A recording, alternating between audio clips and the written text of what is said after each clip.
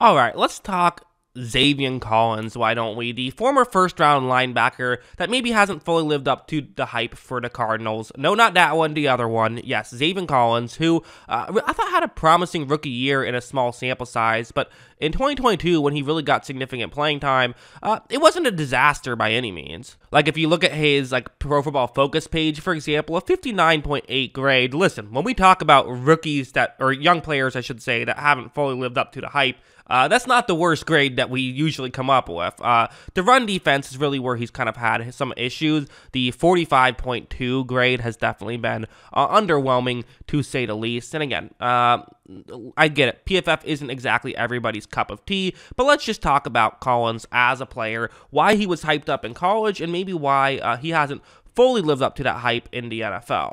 So, first, let's look at his Pro Football Focus page, and it's actually really interesting because looking at this page, you kind of could have predicted what player he would end up being. Because like you look at the you know the pass rush and the coverage grade are both outstanding. I mean his overall grade in 2020 was uh, 90.5, kind of a one year wonder, and only 464 total snaps that one year. So that was a little bit concerning. You know, played great in eight games. That's kind of what got him drafted, but he was great in those eight games. But you look over to the right uh, side of the screen, the uh, 2020 comparables section. So what this means is this is where he ranked in specific categories, and then that dot that's on that bar, the further towards the right it is, the better it is. So his pass rush grade, you know, among the best in college football. The run defense grade was not. It was actually mediocre, for, and that's just for college football players. So that's very much not good, and that's very concerning. Now,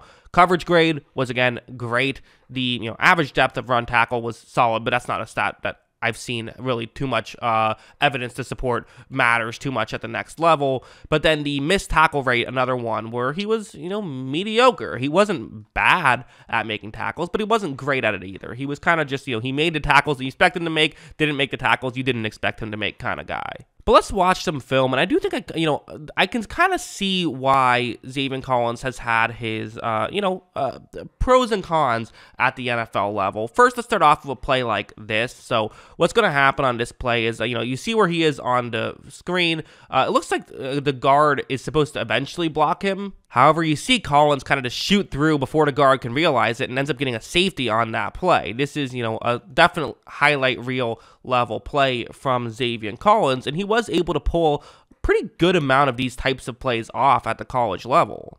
I mean, if you remember, his 40 time was not great. Uh, it was definitely not what got him drafted. Uh, you know, it was a 4 6 uh, type guy. But again, you have to factor in the fact that he's 6'4, 260 pounds. So it's like, hey, he's not overly fast for a linebacker, but for his size, he is fast. And that's kind of the, you know, what people liked about him a lot. Like this plays another example of how that can work. It's going to be the pass rush situation where it's actually going to be a halfback who's going to try and uh, pick him up. And first off, right off the bat, the halfback does a terrible job. I mean, that just was not very well done. And now Collins has an opportunity to get to the quarterback. But listen, having an opportunity to get to the quarterback does not mean you're going to get to the quarterback. You have to now take advantage of this opportunity. But that is going to be exactly what Collins is able to do. Again, these splash play type things, which you might be sitting here and saying, you know, what I'm sure some of you are at least thinking, yeah, how well does this work at the NFL level? Like, how many of these plays do you really can you really pull off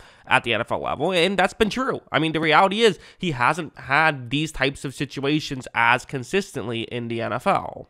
I would still say that he has shown flashes at the NFL level. Again, he's been a fine player so far. He hasn't been a disaster by any means. He hasn't been great either, but he hasn't, you know, he hasn't been what you hope you get from a first round pick. I think that's totally fair to say. But, uh, you know, I do think it's fair to say as well that part of what people liked about him to begin with has become not as important now that he's in the NFL and you just don't get the opportunity to do those things as frequently. Again, other stuff that was very good, like, again, uh, you know, I watched one of his highlight reels and a lot of the plays that were on there were, you know, pass rush stuff, not really getting blocked too frequently, which, like, I think there's several ways you could look at that stuff. I think the one way you look at it is saying, well, again, kind of what I just said, doesn't always work out at the NFL level. You could argue the other way, though. You could sit here and say, okay, listen, yes, it doesn't always work out at the NFL level. But you know what? There still is something to being able to dominate at the college level. At the end of the day, if he has a great nose for finding, you know, gaps, uh, finding ways to get unblocked to the quarterback,